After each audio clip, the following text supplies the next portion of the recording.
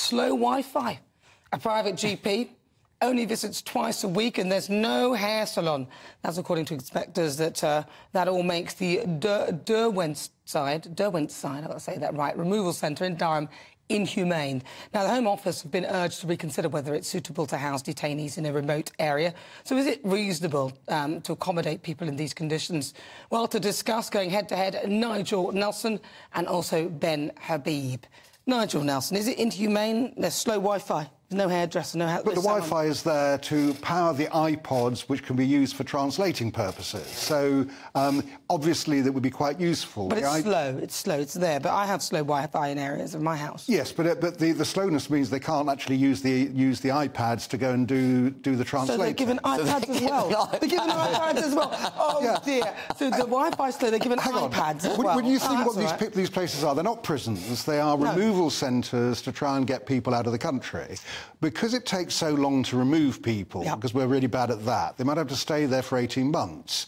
During that period, they ought to, we, we need to make sure that there's no unrest, and the easiest way of doing that is just show a bit of dignity. So, yes, to have a, have a Wi-Fi there, yes, to have hair salons. I was at a, um, a, a hotel last week, a, a, migrant hotel, and they've just built a sort of um, a temporary school for the children. These are the kind of things that you need to, actually be humane. To attract more people to come to your to country illegally. To be humane to the people To attract more people to come to your country Not illegally. attracting them... I, mean, I think it would do if I thought that I might... If I, am there in a tent in France, which is what you have when yeah. you're about Fending to cross... for yourself. Fending for myself, and I think, oh, I can get slow Wi-Fi and a hair salon. I'll take it. Free medical assistance. And an iPad as well. Free medical assistance, dental care, cash in your pocket. No It's a huge deterrent coming to the UK, no. isn't it? Come to the UK, you're not going to get good Wi-Fi. No, I mean, the whole thing is just absolutely absurd. And we had the story the other day of illegal migrants staying in four-star hotels in Pimlico, you know, where it costs a few million quid to buy a house. Extraordinary. And we don't treat our own anywhere remotely as generously as we treat these people who have illegally entered the UK. Let's not forget that. Well, they and they haven't come, the UK. they have illegally entered the they're UK. They're asylum seekers, so they can't be We've had this debate, Nigel. We have, yes, I know. And they're coming from France, which itself is beginning to look a bit like a war-torn country, but it's still a civil... I think it's accepted that France is is a civilized country. They're not coming from Syria or from Pakistan. They may have originated there, but they're coming from France. And we have to Through remember other countries that. along the way, so yes. it's not a French problem. And they've also paid a lot of money to do it. But we have yeah. to remember that. Yeah, but, but it's not a French problem per se. I mean, that, that, that, suggests, oh, let's send them back to France. Why not? Absolutely. Oh, well, well, Why not?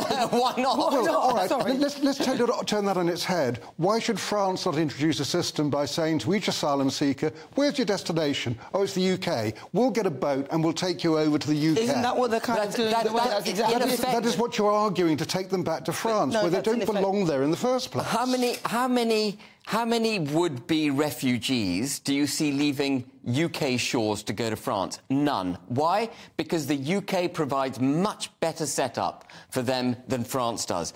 The whole deterrent thing isn't working because we're doing nothing to create a deterrence to come to the UK. As I've said many times on the show, the second you get into British territorial waters, you're welcomed with open arms, given a life jacket, a blanket, a cup of tea, a bar of chocolate and whisked off to a four-star hotel up to Durham if you're really unfortunate. But which, by Durham the way, is beautiful. Durham is beautiful, but it's been it's, it's been painted as some kind of um, you know uh, dystopia for for for these for, for these illegal migrants. Well, it's and remote, so it's not fair. I read I read that they had a ratio of 97 staff to 17 That's right. migrants in but one there are more migrants on their way. I mean, in fairness, that was the idea. It wasn't just going to, be, going to remain that way. Well, we know the, there are more migrants the, on the way. We, we see them arriving every day. But, because, because, yes, because we're, we're, not we're not doing enough to deal with the, the, the root causes of the problem. The root cause of the problem is that we are not enforcing our international rights and legal uh, our international legal rights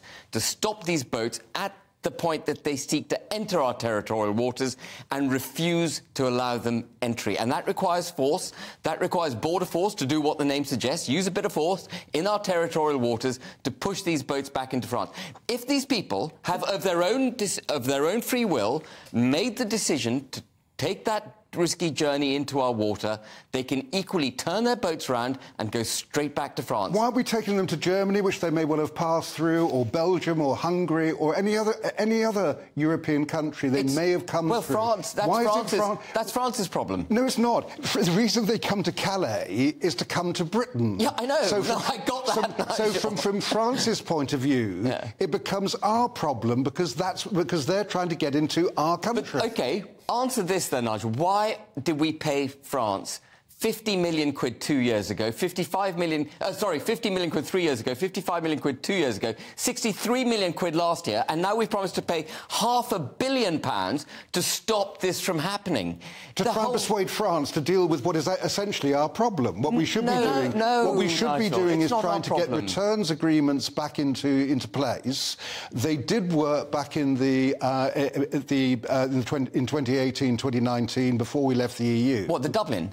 But Yes, the, the- the Dublin- only- the Dublin- The, Well, they Dublin, were- the net number of 36, illegal... Yeah, 36. Well 36 done. Well, no, actually, no. 36 in, twen- people were sent in, back in on that agreement. 2018, the number of people who crossed by boat was 297. The number of people we sent back to European countries under Dublin was 125. One in three went back to Europe. But Nigel, over the four-year period before we Brexited, as Nana absolutely correctly just said, 36 net went back to Europe. That was it under the Dublin Agreement. Yeah, Agreement. but, but we would still be. I've just given you figures that showed 125 went Yeah, back. in one When- year, in when one the year. figures, But can I when the just say, figures can were much just smaller. say, yeah, well, 125 isn't really very many at all. No, it's not. But it's one in three of the ones who came over. Yeah, but, This but problem will not stop until we stop it in the channel. And we've got to take a firm p- position on it. We've got to develop some political will to defend our borders. This is an invasion. It- it is an invasion. Look, There's uh, no other way to describe it. And Suella Braverman's absolutely right to do it. Now she needs to take robust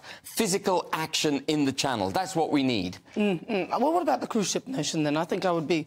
Uh, well, why not cruise ships in the channel or to stop people from actually, when they get to the, across our waters, they go straight into cruise ship and then we process them from there? Why, what's wrong with that Well, i- I mean, idea? cruise ships, people pay to get on whether you, those. put, whether you put them on a cruise ship or you process, process them on land, they can't, they can't actually claim asylum under the law until they reach British territory. Okay, so- that's the first thing. Uh, Well, that- so they're in the cruise ship, we can do the processing uh, there, your you? processing idea is absolutely right. The quicker we process people, on the cruise ship rather than them coming on. So you actually have a set of cruise ships out there. Not only would it act as a you have to be physically on British Yeah. land to claim asylum. So, but- but- not on a cruise ship. But if you're on a cruise ship, can you not have your uh, um, asylum claim processed in the cruise ship? If you're If- on if British it's a waters, British ship, it you're will on be under British waters, law. You're on British waters. So if you have cruise ships, I would, I would literally. I know some people will say, "Oh, that's really inhumane," but no, I wouldn't. I'd be there, ready to receive people as they come across, and I'd put them in the cruise ships. They wouldn't even come onto British soil, as in terra firma. They'd stay on British waters. They'd be on the cruise ship. I'd process them quickly. I don't know if you'd have to change the law but for why- that. I'm but not why sure can you you'd not have to change process the people law for that. quickly, and then if they are if they are not meant to be here, then you can simply take them back on a ship or whatever it is from there to where they need to go. Well, I mean, I don't know What's whether wrong with that? legally you would you would need a change in the law to actually put an to to process an asylum seeker offshore. At the moment, But, but it's can't. still British territory. I don't see why. I mean, this would be if they're on a British stop- ship, they will be subject to British law. Yeah. Well, if that's, Yeah. if that's the Yeah. case, I'm not against against any anything that would actually make um, processing them quicker. But would you not be complaining that the Wi-Fi might not be that good on the ship, or the room might not be big enough, or they might not have a salon on board, or maybe there's two to a room? Well, they probably have they probably have hair salons on board if they're using a cruise ship. Exactly. Why and if the Wi-Fi was rubbish, you just go back to the operators. so we agree, cruise ships are maybe the way forward. That's what they say.